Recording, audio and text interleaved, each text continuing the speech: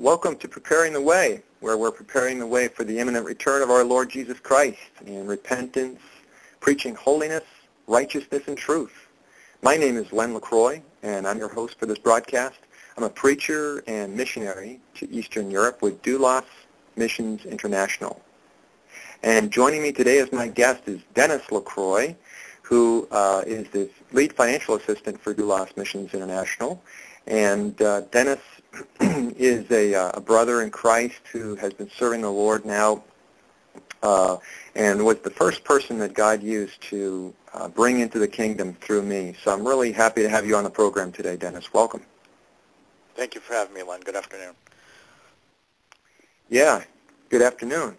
So, um, Denis, before I get into talking about myself and uh, and talking about Doulos Missions International and, and this program and everything, I wanted to ask if you'd like to take a moment just to introduce yourself uh, in a moment. I'm going to say a couple of words first of all about our other guest that was supposed to be here, but I want to ask you if you would prepare to just say a couple of uh, a few things, you know, maybe five minutes about yourself, whatever you feel led to say about uh, your coming to Christ, your walk with God, and what the Lord has done in your life.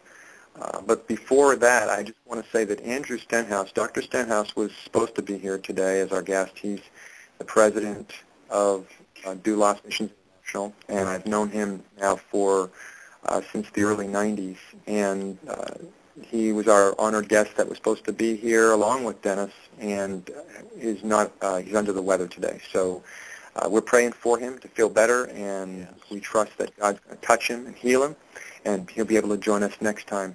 But for today, uh, I'm so glad to have you here, Denis, and uh, you're an important part of our lives and an important part of our ministry. So would you say a few words about yourself and just, you can, you know, speak uh, to me, but about who you, you are and what God's done in your life?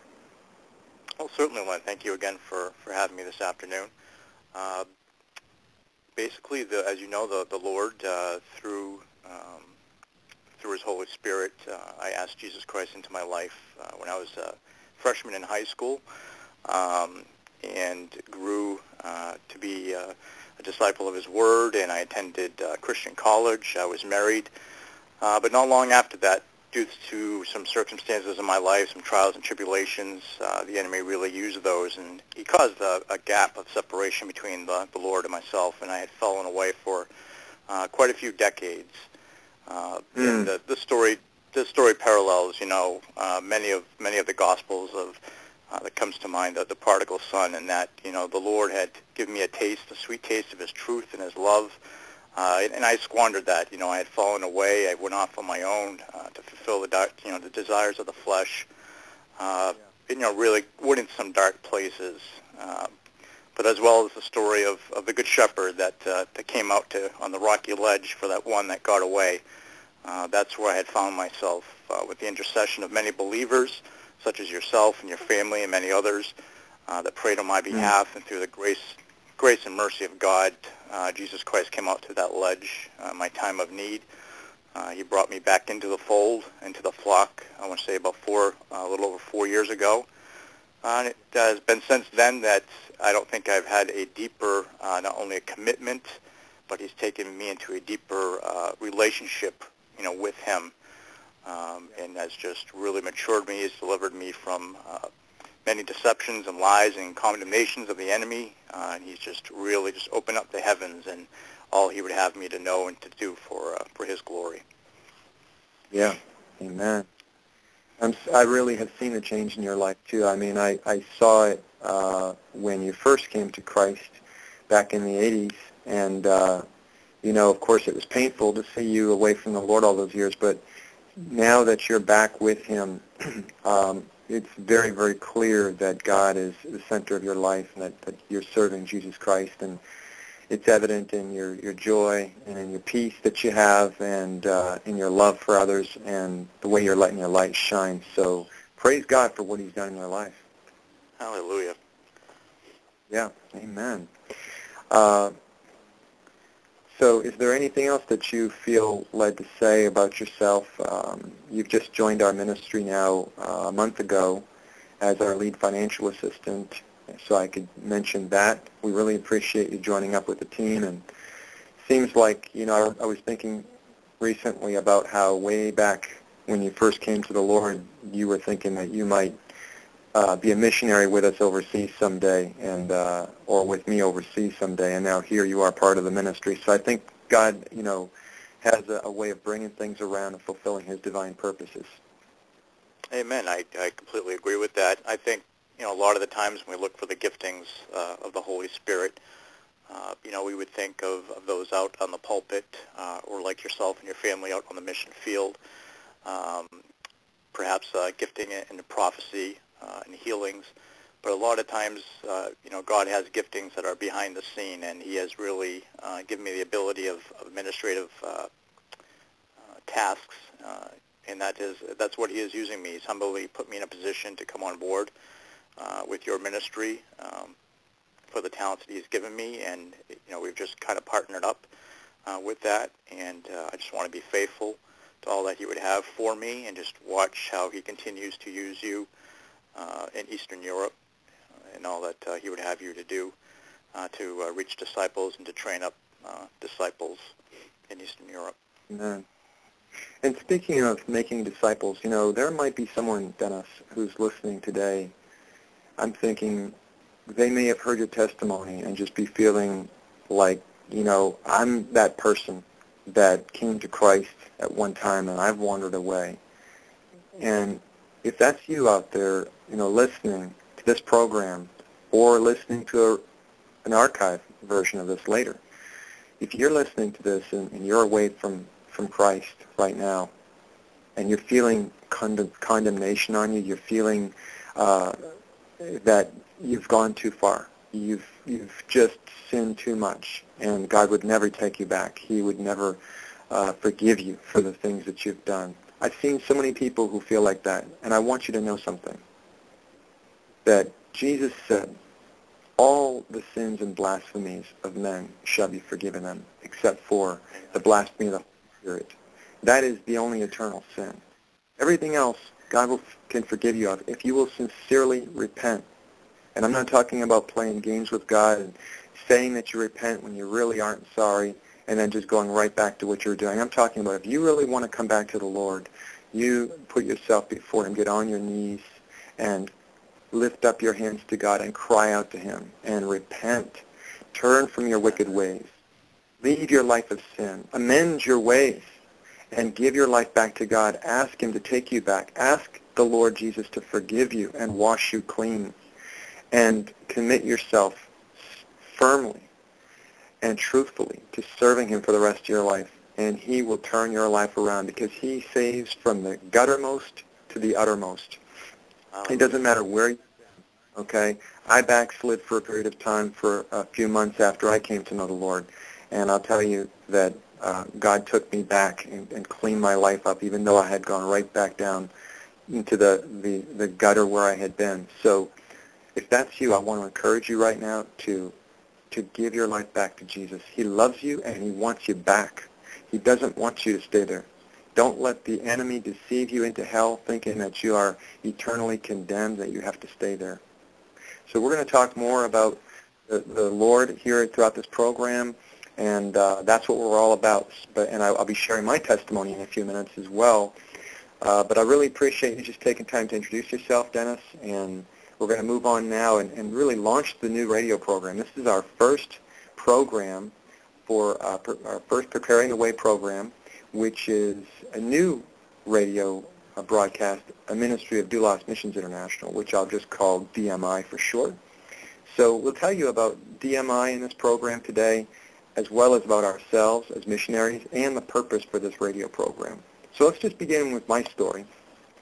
And I'll just give you a, a brief thumbnail of how I came to know Christ. I was raised in a very religious family. We were devout Catholics, and I, I love my mom and dad uh, who raised me uh, and taught me about Jesus.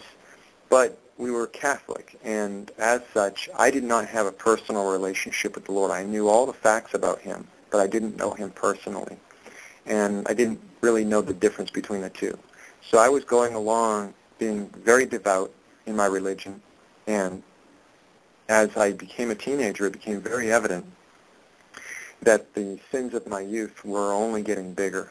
And anything that was in my life before that was growing like like uh, the same way that a little bit of yeast causes the bread to rise in the oven.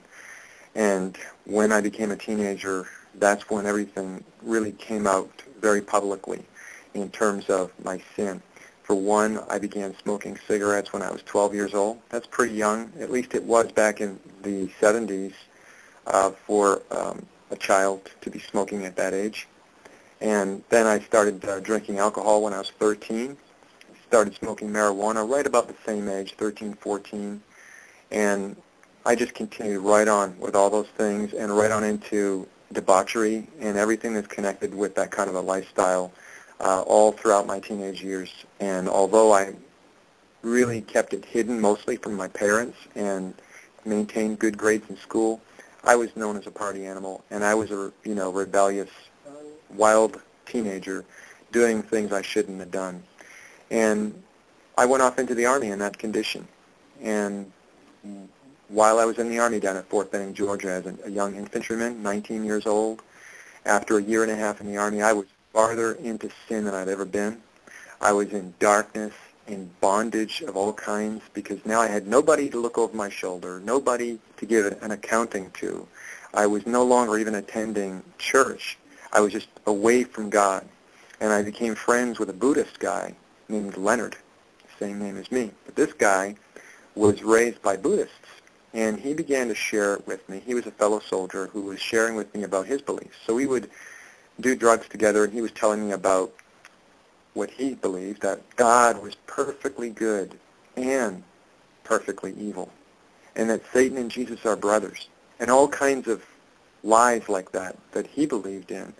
And I was I'm, I'm, I was very fascinated by these things, especially under the influence of drugs, and began to ponder them. And one day I was sharing these things with a friend of mine while we were standing in formation there in front of the barracks, whose name was Alan from California, another fellow soldier. This guy had recently given his life to Jesus, and I didn't know that. So I'm sharing with Alan about what Leonard was telling me how God is perfectly good and perfectly evil, and Satan and Jesus are brothers. And Alan just chuckled and said, you're searching for Jesus. And I said, I'm not searching for Jesus. I was so serious because I figured I knew the Apostles' Creed, the Lord's Prayer. I could, you know, I read my Bible and uh, and could tell you all the historical facts about Jesus, but I didn't know him personally yet. And Alan said, well, don't take my word for it. You've been deceived by other people before about God. Why don't you, do you have a Bible? Yes. Why don't you take your Bible and blow the dust off of it? And he was right because it wasn't being read. And he says, this time, before you read it, though, open it up and pray and ask God to show you the whole truth and nothing but the truth. That really stuck with me, Denis, because I knew that in a court of law, we trust human beings to put their hand on a Bible and say that, and then we expect them to tell the truth. And how much more will God when we ask him? I knew that the God I really believed in, in my heart of hearts, would not lie to me. So I began on that quest, praying that way, reading the Bible, and he opened my eyes up and showed me that the way I was living was not right. I knew I had to get my life right with God and that I was not pleasing to him. I was walking in sin. This became evident to me as I opened the Word and prayed for the truth. And I thought I was searching for information, but you know, the truth is not just information. Jesus said, I am the way, the truth, and the life. No man Hallelujah. comes to the Father except by me. And so that was a revelation for me, Denis, because, you know, I always thought that I never realized the truth was a person. And when I began to talk to God and say, okay, God, what should I do? Should I go back to the Catholic Church or should I become like Alan? What do you want me to do? I know I need to get my life right with you. And I sensed in my heart a still small voice saying, I don't want you to go back to the Catholic Church. You know, God's not looking for us to just get religion or become religious. He wants a relationship with us. And he also didn't tell me to go and become like Alan because God is not looking for cookie cutter Christians to copy some other Christian and, you know, uh, try to be like them.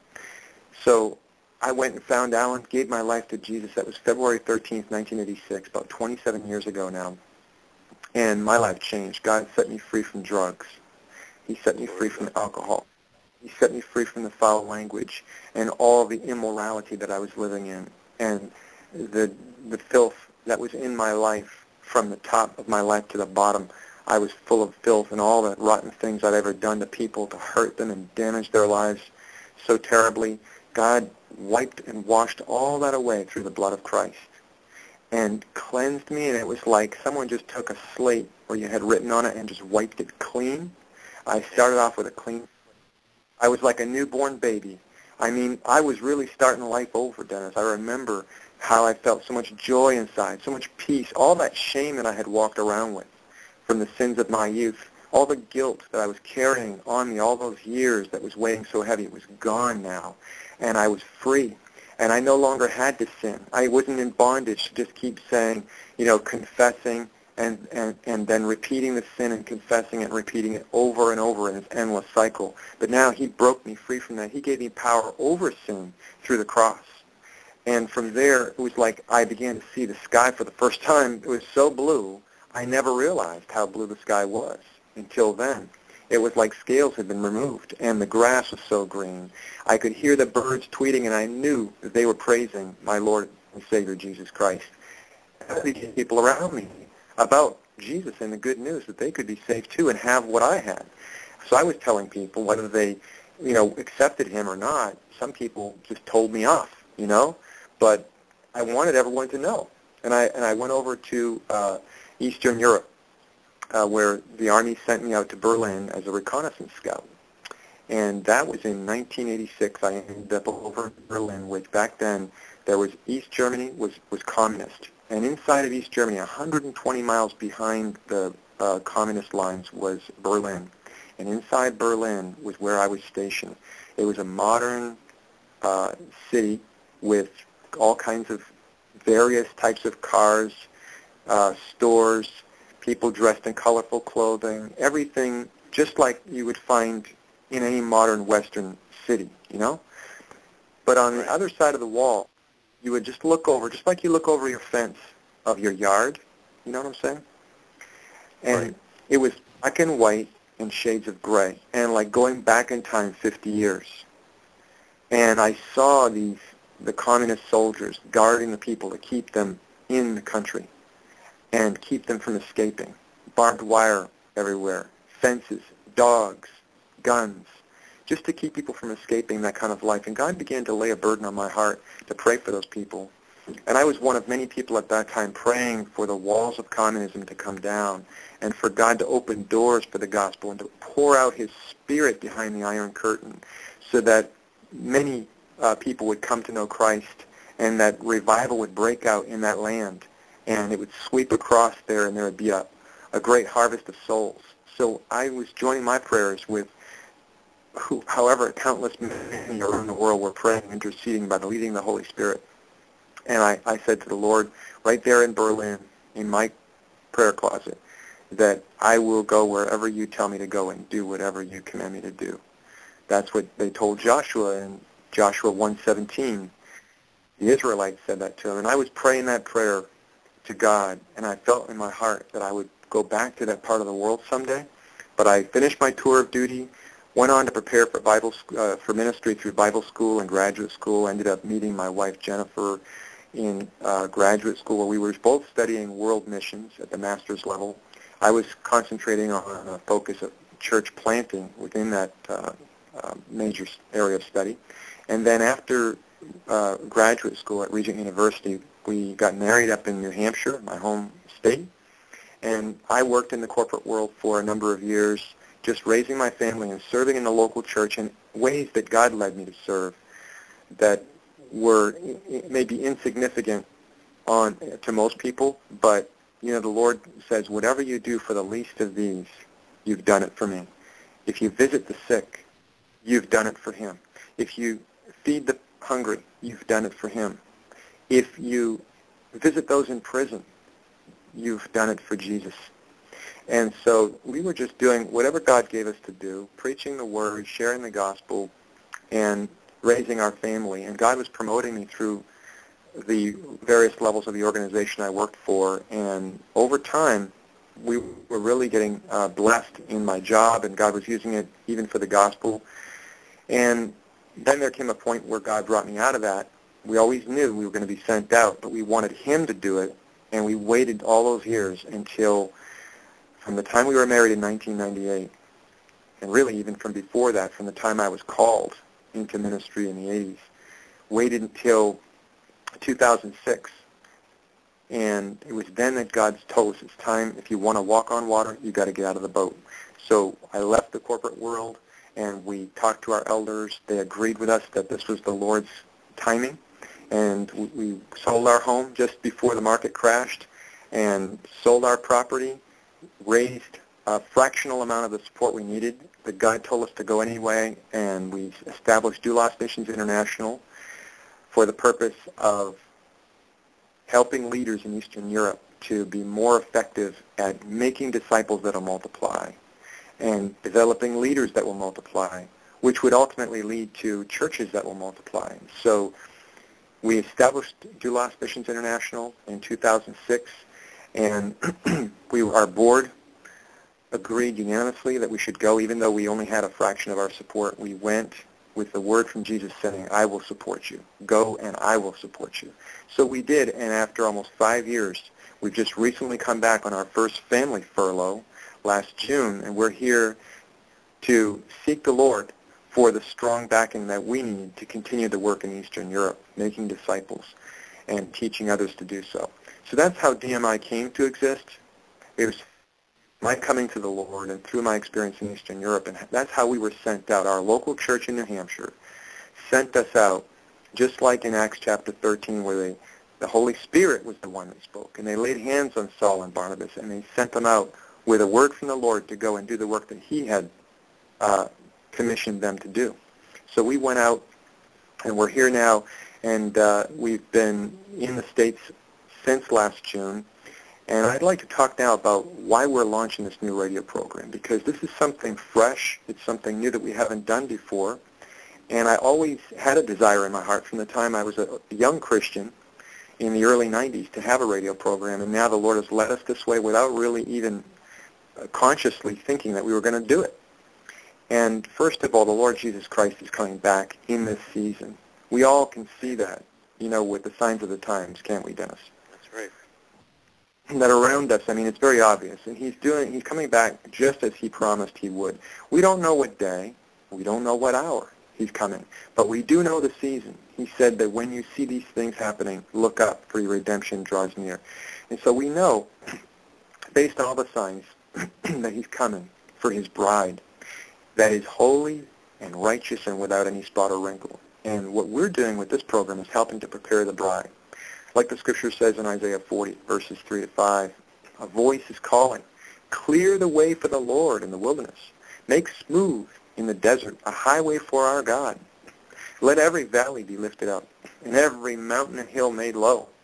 And let the rough ground become a plain, and the rugged terrain a broad valley. Then the glory of the Lord will be revealed, and all flesh will see it together, for the mouth of the Lord has spoken. You see, we've got to clear the way, don't we, Denis, for the Lord? Yes because there's a lot of things that are in the way in our lives, in people's lives, that keep the Lord from coming back. And when he decides to come, he's going to come whether you're ready or not. What we need to do is get as many people ready as possible. And when the church is ready, then the glory of the Lord will be revealed. people will see the salvation of the Lord, like it says in Luke 3.6. All flesh will see the salvation of God. Now, I'm going to move fairly quickly here because we've only got about four and a half minutes left, but I want to share a few more scriptures that are the foundation of why we're doing this program. And at a later time, we can always elaborate further, but these are the basis. The Word of God is our basis on which we stand. It says in Isaiah 40 also, get up, get yourself up on a high mountain. Well, a radio program is kind of like that because you have a worldwide reach through the Internet Get, up, get yourself up on a high mountain, O Zion, bearer of good news. Lift up your voice mightily, O Jerusalem, bearer of good news. Lift it up. Do not fear. Say to the cities of Judah, Here is your God. Behold, the Lord God will come with might, with his arm ruling for him. Behold, his reward is with him, and his recompense before him. That doesn't take a lot of commentary to add to that. It's very clear what that's talking about, that Jesus is coming back with his reward with him, and he's going to recompense everyone for the deeds they've done while in the body, whether good or bad. He is God, and he's coming, and we need to bear the good news and tell everyone. It says, pass through, pass through the gates. You know, I got that word from the Lord years ago and didn't even know what exactly God was saying through that, but it goes on to say, prepare the way for the people. Build up, build up the highway. Remove the stones. Raise a banner for the nations. The Lord has made proclamation to the ends of the earth. Say to, the, to daughter Zion, see, your Savior comes. See, his reward is with him, and his recompense accompanies him. They'll be called the holy people, the redeemed of the Lord, and you'll be called sought after, the city no longer deserted. You see, when people are prepared for the Lord to come, then they'll be called the holy people. But not when the world, not when the church is living like the world, Denis. When the people in the church are living just like the world, then there's really no difference between how can we call ourselves light if we look just like the darkness. The NIV says, lift up a standard over the peoples, Isaiah 62.10. Therefore, what we'll do on this program is we'll lift up heaven's standard of holiness, which the Lord requires. And it says in Malachi 3, Behold, I'm going to send my messenger, and he will clear the way before me. And the Lord whom you seek will suddenly come to his temple, and the messenger of the covenant, in whom you delight. Behold, he is coming, says the Lord of hosts. But who can endure the day of his coming? And who can stand when he appears? You know, there's going to be a lot of people that will hang their heads, and they won't be able to look up at him when he comes, because they'll know that even though they had given their life to Jesus, that they've been living in sin, practicing lawlessness. It says, for he is like a refiner's fire and like a fuller's soap. He'll sit like a, as a smelter and purifier of silver, and he'll purify the sons of Levi and refine them like gold and silver so that they may present to the Lord offerings in righteousness. And that's what God is doing today in his church around the world. He's sending his holy fire, and he is purifying the church. He's purifying for himself a people that will be holy unto him so that we may be pure through and through, and we might present ourselves as an offering to the Lord. So through this radio ministry, we'll be preaching the word, sharing testimonies of what God is doing, and sounding the alarm for the people to get ready for the Lord's return. The Lord is saying, prepare for departure, because very soon the saints that are ready will be going up in the rapture. So that's the purpose of the program, and that's really uh, all we have for today. We're going to be wrapping up in about um, about one minute. And uh, I just want to give you a moment to ask if you had anything to to add or comment. I know I had to run through those fairly quickly because we ran out of time, but was there anything you wanted to say uh, in the next few seconds, Denis? Well, I absolutely agree with you, brother, that we are definitely uh, in the, in the season. Uh, the end of times it couldn't be more of a proclamation through what God is doing, not only uh, through the heavens and in the skies. You don't have to turn through many uh, news channels to see, uh, yeah. you know, that this nation is just heading into uh, just a moral uh, starvation and spiritual uh, starvation, and we just really need to to tell the ones that uh, will listen, uh, open the eyes of the blind, uh, to really And- get out. You know that the Lord, the Lord is coming soon, and uh, we've got to put away these childish things. We got the comforts of the world, you know, that Satan would to cut you us off. with. That's all we have for Sure. today. Thank you everyone for joining us, and please join us again next Tuesday at, uh, at noon Eastern Time. Until then, watch and pray and keep looking heavenward, for your redemption draws near. It's even at the door.